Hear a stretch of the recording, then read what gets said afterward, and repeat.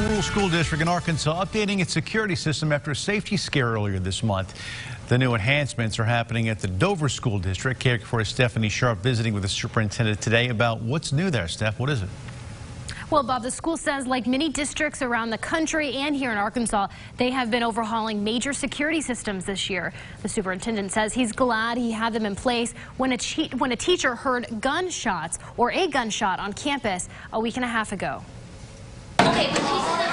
Kids filing out of the lunchroom at Dover Middle School. It's students like these Superintendent Josh Daniels says needs to stay protected on campus. And even me as a parent, you know, I have kids that go here and it just reassures reassures all of us that we're taking the measures that we need to make sure that all of our kids are safe. He says that was tested just weeks ago when the school went on lockdown. And had a teacher um, hear a gunshot, um, so she immediately reported that to her administrator and, and police were called. Daniels says it turned out to be a hunter that was far away. Gunshot echoed off of some of those hills and it was heard on campus. But he said regardless, the district evaluated the safety features the school has, like a camera system throughout the school. Uh, you can see someone actually coming in and check out their kids. Another security feature is to check driver's license. You put your driver's license in the machine. It checks through Arkansas State Police registries.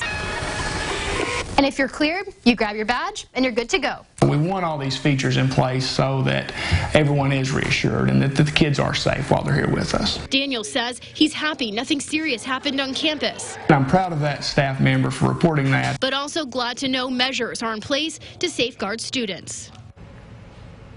And there are other safety features like door locks in every single classroom. And they also have a partnership with the Dover Police Department. Bob? All right, Steph, thanks very much.